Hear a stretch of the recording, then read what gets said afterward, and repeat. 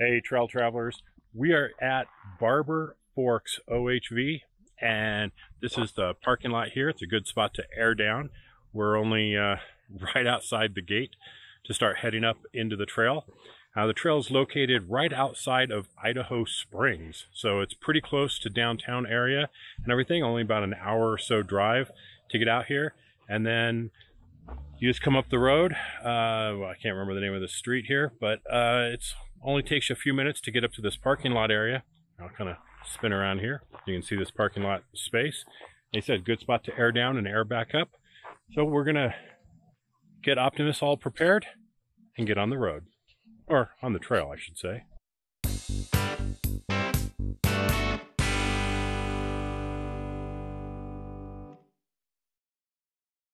As you leave the staging area, just turn left and you're right there at the beginning of the trail. I'm just resetting my trip meter here. All right, and we're gonna go ahead and head up. Now this certainly uh, is closed. Uh, let's see, it says it's open June 15th to December 15th. So keep that in mind if you're planning on coming up here. After you pass the first few obstacles, which are not that big of a deal, you definitely want to be in four-wheel drive. You'll climb right over them.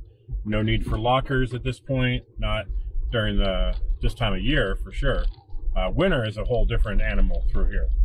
We're a mile in, and we're kind of in this beautiful wooded area with a mix of aspen and pine trees. It's absolutely gorgeous and it is the first week of October, so fall is hitting us.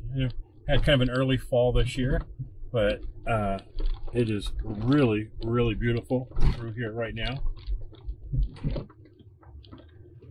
But we did see some stock Wrangler Sports come out of here. So on a nice dry day like this, should be pretty much open to any four-wheel drive. You want a little uh, amount of extra ground clearance. That'll that'll help. There are some some nice rocks through here, and like I said, a few little obstacles that you're going to have to go over. So a little extra ground clearance is not going to hurt. But then once you're up here in this wooded area, it's really nice. So when you get to the fork in the road, make sure you stay to the right. Again, this is where uh, something like Gaia GPS can really come in handy to make sure that you're taking the right trails. Now this is a little narrow. We are getting, uh, you know, attacked by some plants on either side, right there. Some pine trees and some other bushes. Okay, 194.2, make sure we're on the right trail and up we go. So Gaia Maps or Gaia GPS or onX are both excellent. I like both of those. Really give you a, a better sense of where you're at and making sure that you're staying on the trails. At the 1.4 mile mark, you kind of come upon uh, the hardest obstacle so far and it can get pretty darn tippy if you're not watching yourself. So just take it easy on that one. Like we're rolling up to about a 25 degree uh, roll at one spot right there because I took it a little too wide. Had to reposition to redo it, but not too shabby. The rest of it wasn't too bad.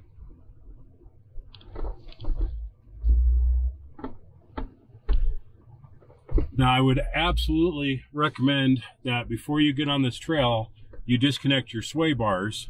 It'll make doing that a whole lot easier and less tippy for you. All right, well, hopefully we'll have some more cool obstacles up ahead.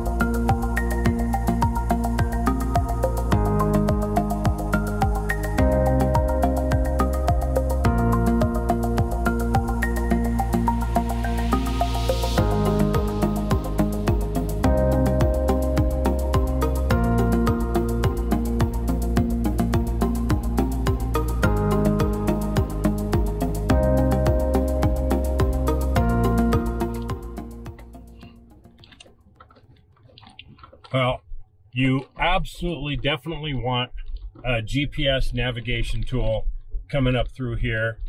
There's a lot of little side roads and some of them are marked and you can see on like Gaia maps what trail it is and others that have no markings at all.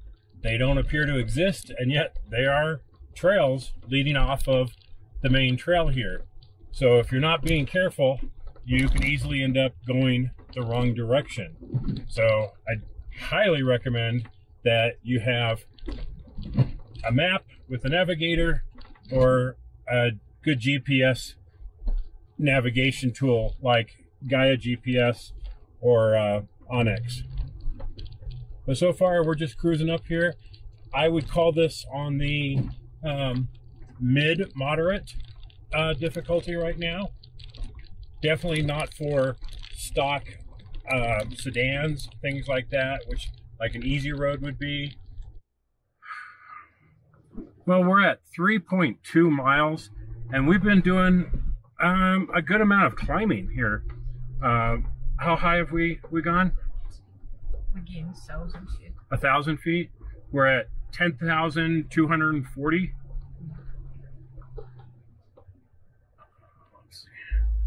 10,255 feet at the 3.2 mile mark. We're still just cruising along. It will, uh, you know, there's a few spots that are kind of rocky. There's a few little obstacles to go over. Anyone who says that this is an easy trail is just kind of blowing smoke because an easy trail I would have taken my BMW X3 on. This is not one of those trails. This is going to take some ground clearance and some four-wheel drive to get on.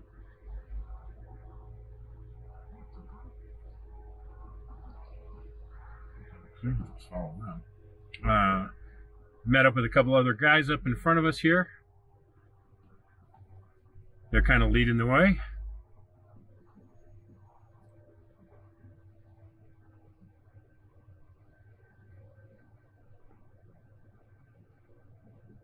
If you like the smell of pine trees, this is definitely a trail for you.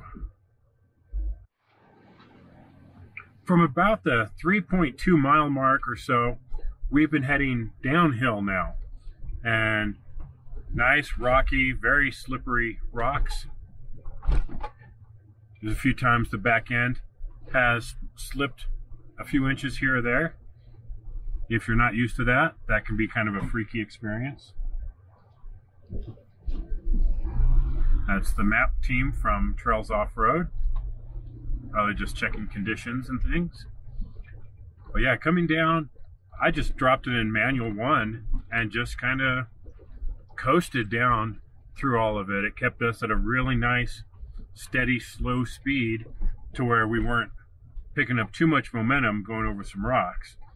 But there's certainly a few spots where it felt like the back end shifted on a rock by a few inches.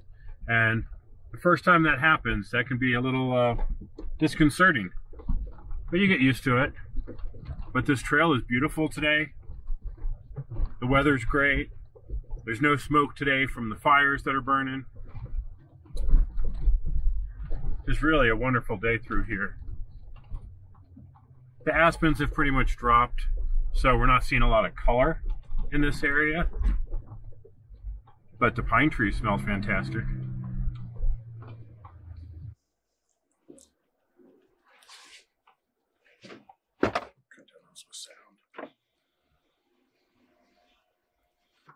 As you're first coming up Barbour Forks uh, Trail, one of the first main offshoots is 194.2B, which actually is what we're on now. We just be we're going in the other direction than had we come from the main trail.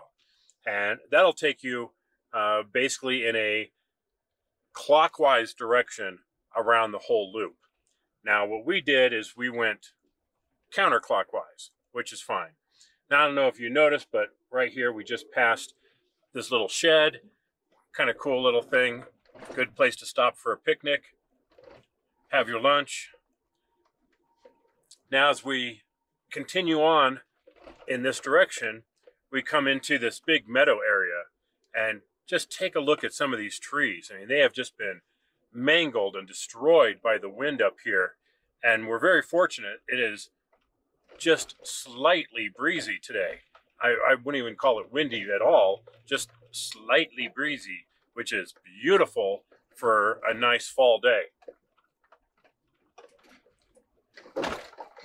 Now, as we, uh, that was a big bump. As we clear these aspens here, you'll see another cool feature of this area that one of the ones that makes it super popular is these rock formations off to our right. I'm going to go ahead and turn down here so you can see these. So this is a nice big area. You can fit a bunch of vehicles here for camping, for lunch, you know, taking a break here. And a lot of people get some beautiful shots up on these rocks here. But right now, we're looking out over the distance and we see these beautiful patches of yellow aspens all over the place. Absolutely a gorgeous day to be up here at Barbour Forks. Oh, that's about the end of that trail.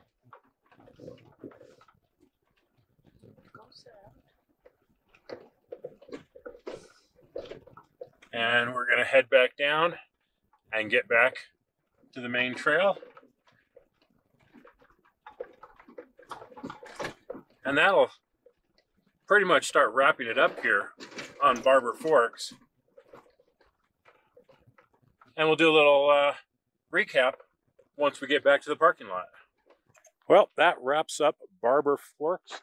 We just finished airing Optimus back up with our Smittybilt 5.4 cubic foot air compressor because my CO2 tank ran out. I only made it a few pounds on the tank before it gave out. So today we were back to using the compressor until I can get the uh, tank refilled this week. But Barbour Forks is a lot of fun.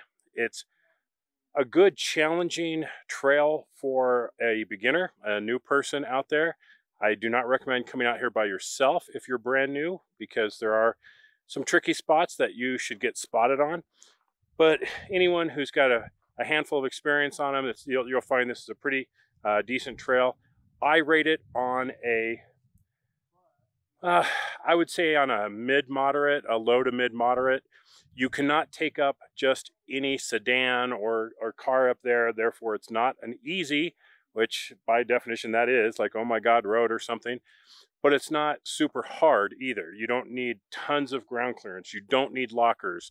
You can make it all the way through this on just four-wheel drive in a Jeep and a Tacoma or an FJ or whatever, and it's a fun trail. And there's a variety of sites from wide open meadows to really dense aspens to thick pine trees. It's just a beautiful trail to be on. And today was a gorgeous day for it. So thanks for watching, everybody. This has been Kerry with Trail Traveler. Like, share, and subscribe. Always appreciate it. And it definitely helps out the channel. And we'll catch you on the trails next time. Bye-bye.